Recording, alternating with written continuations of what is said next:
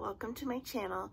So this is going to be my fourth video in my series, Makeup and Myths.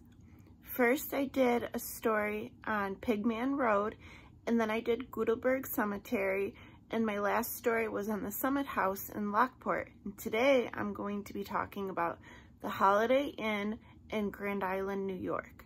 So this is a pretty popular story in New York, well, in Western New York. And I don't know, I think I heard about this story since I was a kid. I know some friends have stayed at the hotel in hopes of seeing a ghost. Um, my friend Amanda stayed there, but she didn't experience anything. But there are stories out there of people experiencing seeing the ghost um, workers, managers, bellboys, maids have all have reportings of seeing ghosts. And I mean, it's a story for a reason. So it's located in Grand Island, New York by Niagara Falls. And the hotel was built, I believe, in the 1973. I could be wrong on my date. Um, the hotel is no longer a Holiday Inn. It was changed to Balos. Balos. Um, I kept looking up how to say it, but I keep forgetting. Balos, like spa and resort. So the, the hotel still stands. It's just no longer owned by Holiday Inn, which is a chain um, of hotels. I don't know if they're all over the world, but I do know they're in the United States. So it's a fairly new establishment to have like stories of ghosts hauntings. Usually that happens in older places. So the story goes, there's this ghost girl named Tanya. She's around eight or nine years old and she wanders the halls and she goes into the hotel rooms. People have said they've seen her playing with their children. She'll be running around and she wears all white. Well, legend has it back in 1800s, there was a family, John Nice's family, lived on the property. They had like a mansion and he had, him and his wife lived there with their 10 children. And one of the children's names was Tanya, and the house burnt down, and she died in the fire. So that's where the legend has it, where Tanya came up. So I found this story in my local newspaper. It was in the Buffalo News about a guy named John, and he was staying the night at the hotel and he was in his bed sleeping and he woke up to a young girl standing at the foot of his bed. Shouted, what are you doing here? You know, like, how'd you get into my room? And the little girl took off running into the corner of the room. So he flicked on the light and the girl was gone. Nobody was there. So he was pretty freaked out. He checked his doors to make sure they were locked you know, make sure nobody snuck into his room in the middle of the night and was playing a joke on him or something. But the doors were locked, everything was fine. So he went around asking, because he was pretty spooked. I would be spooked too.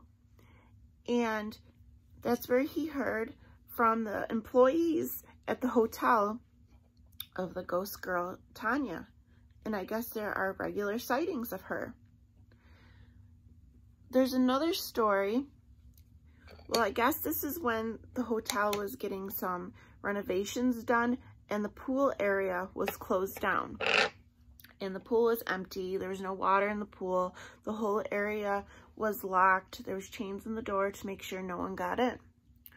Well, there was a guest walking like in the overpass. I guess there's like an overpass and you could look down, you could see the pool area. And the guy looked down and he said he's seen a little girl running around in the bottom of the pool. And, you know, he was pretty like, what the hell is she doing there?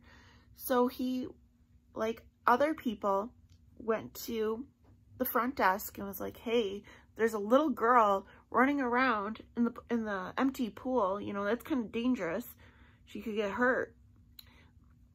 So the manager of the hotel went to the pool, you know, made sure all the chains were still locked, went, opened it, and he didn't see anybody in the pool area, but he did see footprints at the bottom of the pool, child-sized footprints all over. Pretty creepy.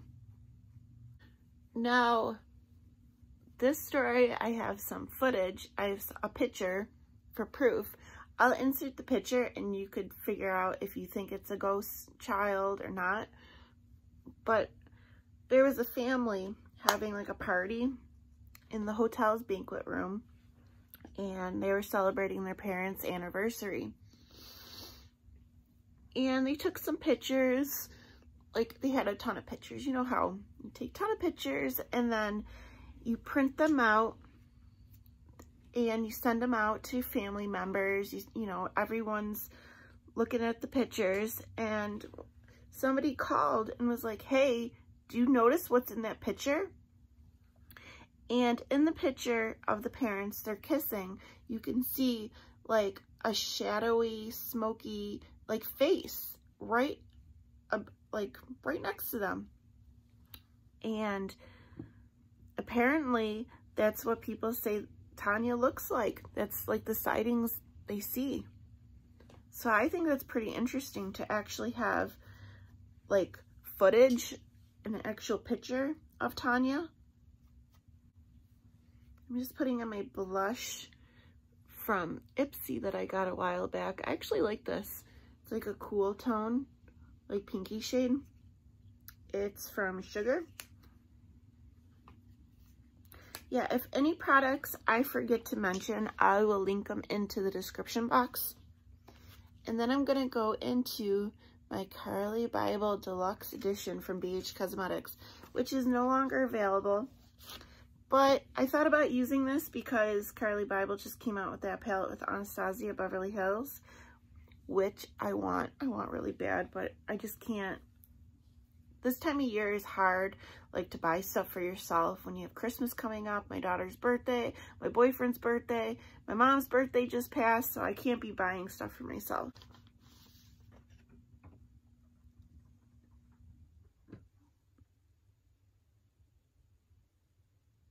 I just heard creepy noises coming from my wall. I don't know if it's my neighbor, because I do live in like a two family, but it just sounded like something was like crawling in my wall. Ugh, it's creepy. All right. I'm still hearing it.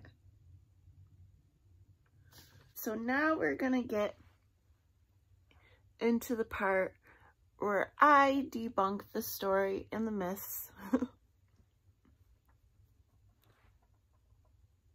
I'm still hearing it. I don't know if it's my cat.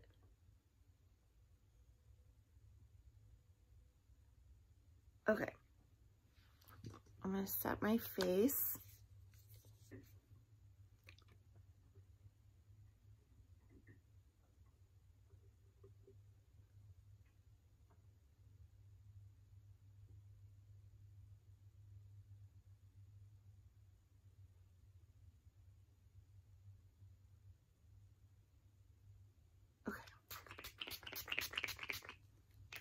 Apparently no child, like according to historians, no child has ever burnt to death in the house that stood where the Holiday Inn is now. The house that stood there was built in the 1830s as part of the White Haven settlement. It's like there was like a sawmill there and the house house was a part of the settlement.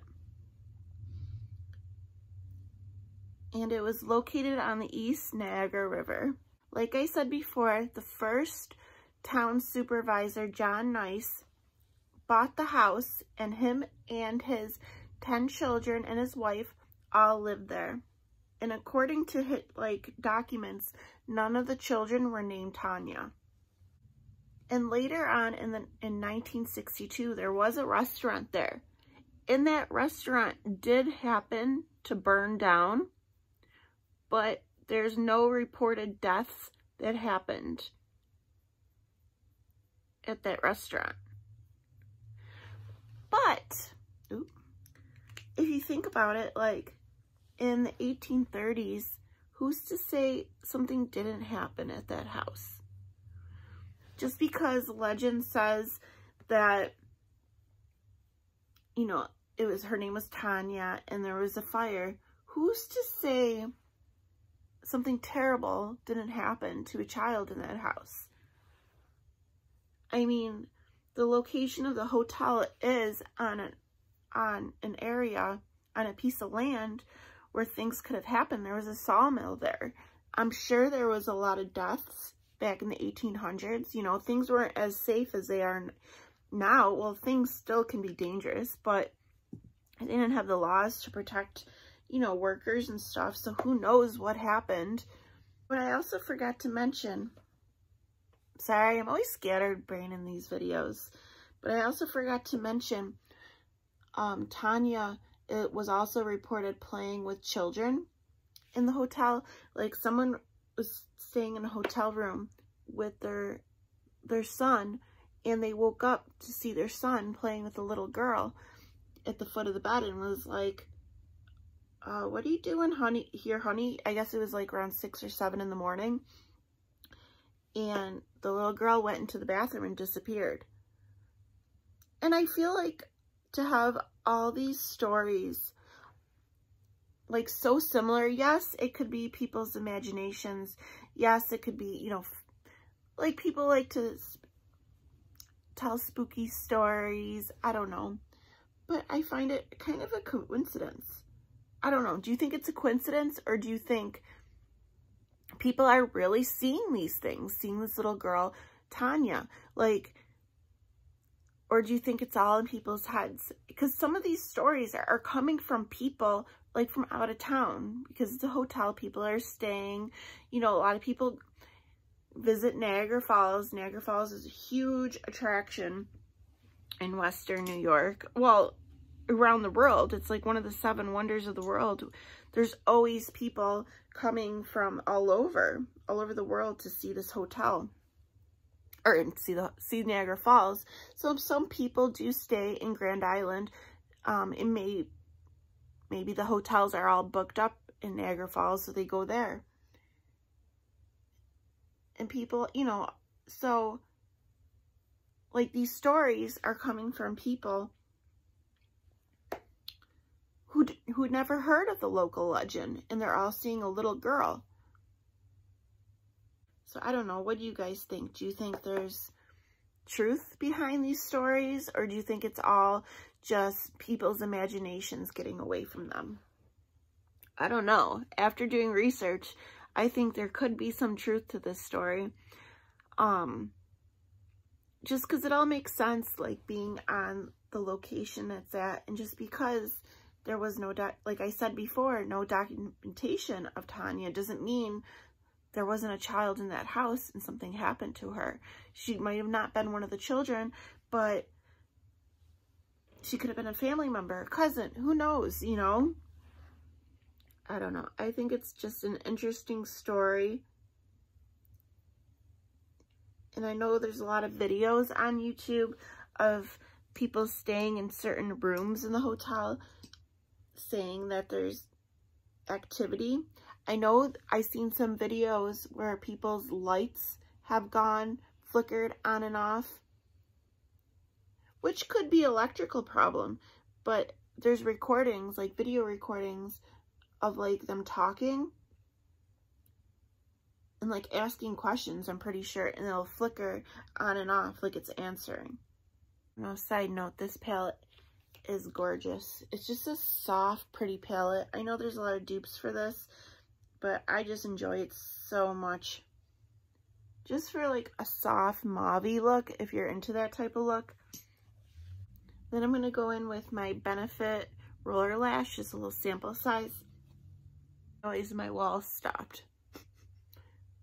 That was weird. I hope an animal didn't get down there in the wall.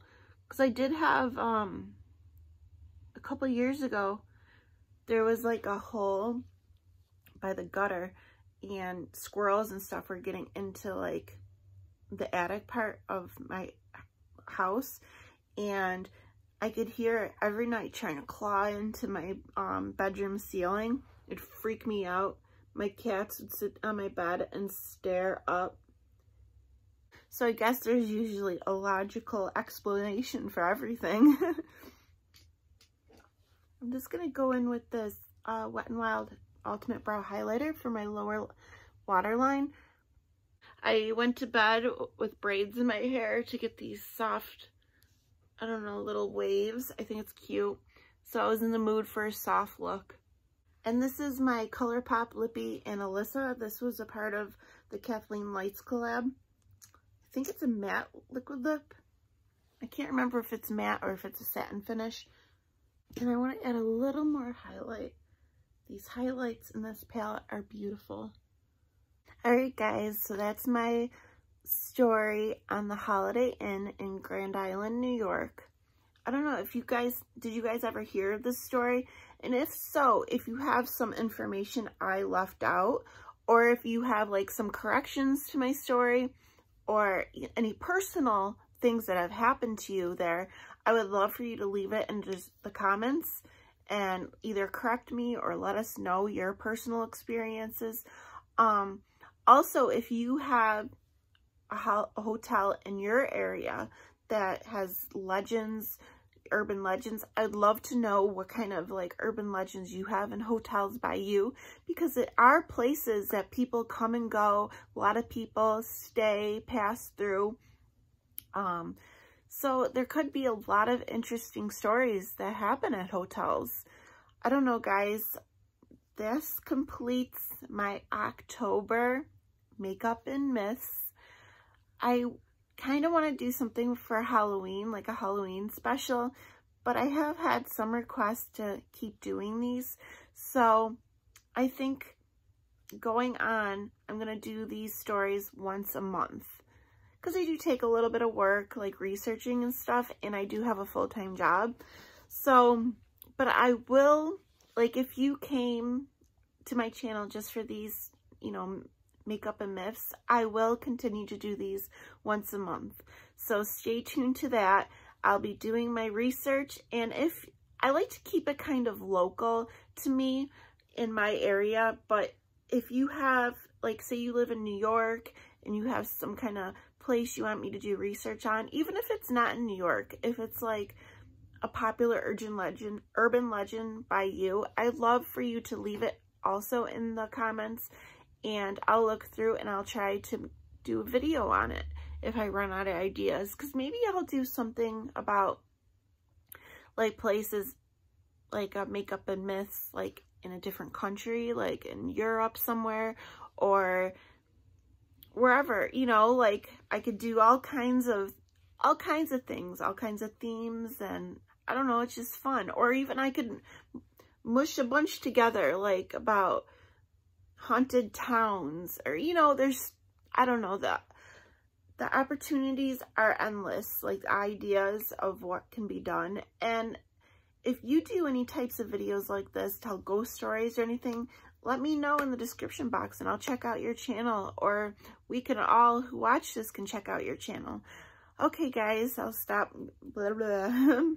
but I'll talk to you guys soon. Bye. Oh, I always forget. Please like and subscribe. All right, bye.